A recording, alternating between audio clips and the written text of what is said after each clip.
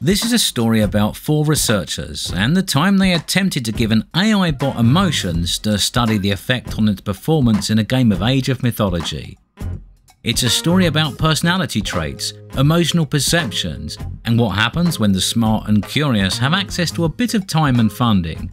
But most importantly, it's a story about real time strategy games. But before we get too deep into the details, let's clarify what we're talking about here. RTS AI bots are composed of scripts and functions, and there is no way that we can give them real emotions no matter how many episodes of Sanctuary Moon they decide to watch but we can attempt to simulate them. And as everything else within the game is a simulation, this would appear to be a pretty reasonable substitution. But how could this be of any benefit? If a bot chooses to do something irrational because of a simulated state of heightened emotion, wouldn't that just lead to a loss in performance? Well, not necessarily. Predictability is one of the key problems with scripted solutions. If the bot knows our fighting game character is close to death, the optimal move is the jab, because although it's got low damage, it's very hard for us to block. But we know this, so we place our guard in that direction. But if the bot is emotionally charged, it could make the irrational decision to use a kick instead. It's slower, but we're not ready for it, so it might get through. The occasional irrational or illogical move can really throw off an opponent, either because they didn't expect it, or because they assume that by making that move, then the initiator must know something that they do not. Anyway, now that we're on the same page, let's move on with our story. Our scene opens in 2004 in Enschede, a city of some 160,000 situated in the eastern part of the Netherlands. Enschede is home to the University of Twente, a technical research establishment founded in 1961. Within the Faculty of Electrical Engineering, Mathematics and Computer Science is a student named Gerben Meyer who's working on his bachelor's degree. He needs to pick a subject for his thesis, a vitally important piece of work which will determine the outcome of the several years of study that a bachelor degree entails. It needs to be of some academic value and be entirely of his own work, as well as being interesting, achievable, and worthy of his time. The fruits of his labour result in a paper entitled Emotional Agents How Personalities Change Behaviour. I won't keep you in suspense, everything turns out rather well. Gerben receives his bachelor's degree and then, after some additional study, goes on to receive a master's and then a doctorate, and finally moves into a very successful career in computer science. Well done, Gerben. But let's talk a little bit about his thesis. It features something called an emotion connectionist model that dictates how emotions affect the actions of an agent. An agent could be anything, perhaps an NPC or an AI bot. It essentially has four different inputs pain, pleasure, confusion, and clarity. These states ultimately affect something it calls arousal. No sniggering in the back there. This is simply a fancy term that denotes how worked up our agent is. If an action creates a lot of pain and little pleasure, then that action is considered undesirable to our agent, and conversely, if it generates lots of pleasure and little pain, it becomes desirable. However, this is only half of the puzzle. There are also two related factors, confusion and clarity. These serve to amplify the levels of pain and pleasure. If something good happens, and you understand why, because you have a high amount of clarity, then the level of pleasure is increased. It's the same on the other side. Levels of pain are exacerbated when combined with high levels of confusion, as it's especially unpleasant to experience pain without a good reason. Individuality starts to enter into the formula when this is combined with a three dimensional personality space. There are essentially three different ranges added introvert, extrovert, stable neurotic, and explorer preserver. How far along each range a certain personality is will affect the magnitude of arousal, pain and pleasure, and confusion and clarity. If an agent is especially neurotic, it will be more likely to make decisions based on the level of pain present, even if a more balanced personality would read the situation as favourable. Similarly, an agent with a particularly high tendency towards the explorer trait would be far more comfortable with confusion compared to that of a preserver. All of this lovely theory was built into a prototype turn-based simulation. It consisted of a tiled game world scattered with pools, trees and rocks. Sometimes the pools would contain water, sometimes the trees would contain apples and sometimes the rocks would yield herbs. The agent needed to eat and drink to survive, and it would need herbs to recover lost health. There would also be predators roaming around the game world. These would mostly move at random, although if they arrived at an area with the resources that an agent would need, they would likely stick around and wait for the agent to arrive. The agent itself knew the location of all of the pools, trees, and rocks, but it didn't know if they currently contained anything to harvest, nor did the agent know the location of the predators. There was a basic line of sight system, so this information would only be revealed if the agent was close enough. Each turn, the agent could do one of several predetermined actions. It could move towards resource locations, it could eat or drink the resources in question, or it could either attack or flee from a predator. It also had the ability to do nothing. The need for food and water would increase over time, and health would decrease when fighting. Confusion and clarity were calculated based on how straightforward a situation was. If the agent was hungry and there was an apple in sight, clarity would rise. If there was a predator in the way, confusion would increase. The actions the agent could take were influenced by the amount of arousal it was currently subjected to. At high levels, it would be far more likely to do things like flee from a predator, and it would only attempt the mundane, such as moving to a tree, if levels were low enough. The study looked at three configurations for the simulation extrovert stable explorer, or ESE, introvert neurotic preservers, INP, with maximum levels in all of those traits, and a third more stable example, which was a midpoint between the other two types. The paper reported that the main difference between the types was highlighted when a predator turned up. The ESE agent was less susceptible to pain, and therefore way more likely to engage in a fight and die to a predator, whereas the INP agent would generally forget about food while it was running away from predators and just end up starving to death. The in between agent had the greatest survival times, probably because it would fight when it needed to, but still remember to eat. But what does all of this have to do with Age of Mythology? Well, skip forward two years and down a few hundred miles to Austria. Enter our four protagonists Christoph Hermann, Helmut Melcher, and Stefan Rank of the Austrian Research Institute for Artificial Intelligence, and Robert Trappl of the Institute of Medical Cybernetics and AI. These four researchers are intrigued by the paper we just discussed. They wonder what would happen if you made an emotionally driven AI opponent for a real time strategy game. It's not that they were interested in creating a competition winning challenge that even the most veteran players would find difficult to handle. Instead, they were looking to see if a less rational bot would simply be more fun to play against. This is the problem with AI bots. They are always trying to make the most rational decision in order to win. If they do something poorly, it's not because they just felt like it, it's because their programming was lacking. They make decisions based on whatever is most likely to achieve the desired strategic outcome.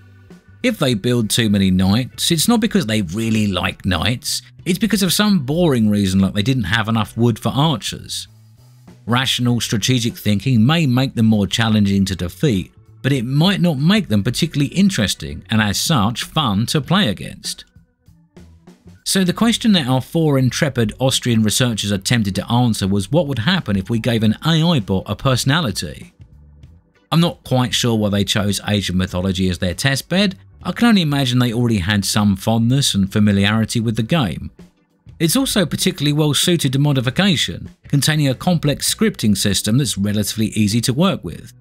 The only other criteria they had was one of reasonable competency, their bot needed to be at least as good at the game as the standard AI on hard difficulty. They wanted to make it more interesting, sure, but they didn't want its abilities to be too hampered, as an easy victory is not a rewarding one for a human opponent. They derived their emotional model from a combination of the two options presented in Gerben Meyer's paper. It was based on the same principles, but the approach varied slightly to take into account competing emotions. Rather than pairs of emotions like pain and pleasure being a scale on the same axis, they split them into two separate entities so their agent could experience high levels of both at the same time. If an agent won an engagement but lost a lot of units, it would be subjected to high levels of both pain and pleasure to simulate the negative feelings of losing so many units but also the positive ones of winning the overall engagement. This is a diagram of their emotional model, Changes are determined by environmental factors, and the magnitude of those changes is governed by personality. Artificial agents with a high degree of openness would experience higher levels of confusion, whereas neurotic agents would experience higher emotional levels overall. With these parameters established, they created four different personality profiles, which they labelled defensive, aggressive, balanced, and neurotic. The defensive bot would be agreeable, conscientious, and open, while the aggressive character would be extroverted and altogether less open and agreeable. The balanced bot had a midpoint of all of these traits, and the neurotic bot would be similar but have the neuroticism dialed all the way up to the maximum. Unfortunately for us, the paper is very light on the details of the actual implementation. It doesn't go into the nuts and bolts of how input and output was managed. However, we can use a few clues in the text and our knowledge of the paper this was based on to make some assumptions about how it may have worked under the hood. We know that it would have to be goal driven, and like the simple turn based agent, have a list of actions it would be able to perform. Though in this case, instead of simple actions like eat apple, they would be more likely to be general strategies it would aim for. We can easily imagine that the higher the arousal levels, the more it would favour the extreme options, and it would only be partial to basic options when its arousal levels were low. In a mild state, the bot would probably opt for some pretty low intensity options, expanding the economy, creating workers, and setting up harvesting operations. Bots with higher levels of clarity would be more likely to explore, as this would impact the levels of pleasure gained from obtaining new information and discovering new sources of raw materials. Bots with low levels of the extrovert trait would be less susceptible to pain and would have far less of a problem sending units to harass the enemy. The pain of these units dying wouldn't be so much of a problem, so the levels of arousal calls would stay reasonably low and not cause the bot much of an issue. You can imagine that in a higher state of emotion that the bot would be far more likely to send desperate attacks against the enemy, even if it didn't really have enough forces available to overwhelm them or to quickly replenish the forces it lost doing it. The defensive bot, being agreeable and open, developed a tendency to focus on its early game economy. Only later in the game would it gain enough hype to start focusing on its military, but it takes a good amount of time to get there. It's worth noting that none of these bots were operating on a fixed strategy, and they could and did change their strategies during a game if they received enough of the right input. The defensive bot might not be as easily affected by pain as some of the other characters, but subject it to enough of it and the bot would respond accordingly. Being more middle of the road, the normal bot was far more likely to adapt its strategies as the game state changed. It wasn't especially tuned to any one emotional trait, but it was also not especially dull to any of them either, and as such, it was more likely to respond reasonably to the evolving situation. The neurotic bot was a different story altogether. Because all of the emotional input was severely heightened, it was far more extreme in its responses. It would be very aggressive, attacking early and building outposts near to its opponent's base. It would make irrational assessments about its own position and frequently overestimate the amount of resources it had available. It was essentially very highly strung and it would make rash and extreme decisions where the other bots would make far more measured and reasonable ones. What's interesting is that all of the emotionally driven bots outperform the out of the box AI. The researchers set up a string of 28 games. Each of their four emotional models would play seven matches against the default hard AI, and the results of those games would be examined. The emo bots won 26 out of the 28 games, with each game lasting around 40 minutes. The defensive and the normal emotional bots each won 6 out of their 7 games, and the aggressive bot won all 7. What surprised the researchers was that the neurotic bot, which was both aggressive and erratic, actually outperformed all of the rest. As well as winning all of its games, it did it in record time, with an average game length of just under 32 minutes. This was some 10 minutes quicker than even the aggressive bot. Now, I'm not sure if we can really draw any conclusions from any of this. It's a pretty lightweight paper with a limited number of tests and parameters and lacking a lot of detail. The researchers do state that there is further work to be done, especially in respect to enjoyment levels of human players when pitted against emotional bots, but unfortunately it looks like none of this ever happened. This is the problem with smart people. They tend to move on to bigger and better things and forget about their unstable neurotic creations. However, I think we can say with some confidence that their work is at the very least interesting. There has been plenty of talk about improving AI bots in RTS games. There are some really excellent ones out there, creations that can provide a serious challenge to even the most skilled and experienced players. You hear a lot about their ability, but the one thing you never really hear much about is the levels of enjoyment of actually playing them. It's true that there is fun to be had in overcoming a challenge, but games are about more than that, and it does make me wonder if the very act of winning isn't the only consideration when designing an AI bot. Perhaps our team of researchers were onto something. Is it possible to use emotional models to make AI bots more enjoyable to play against? Rather than choosing between easy, normal, or difficult, could we instead choose between chill, stable, and easily triggered? It might be fun to play against a bot that is far more interested in building a cool base than they are about raiding yours in the first six minutes. And perhaps once in a while it might be a bit of a laugh to fight a bot that you can essentially annoy into making suboptimal plays. Who knows, maybe this sort of thing already exists. There are plenty of other studies that examine similar subject matter, and maybe some crafty scripters out there have created a whole series of bots with feelings that I've never heard about.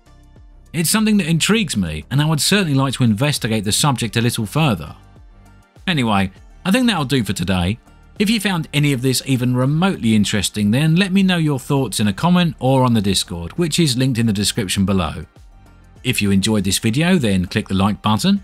And as usual, if you want more of this sort of thing, then subscribe to my channel, and I hope to see you back soon.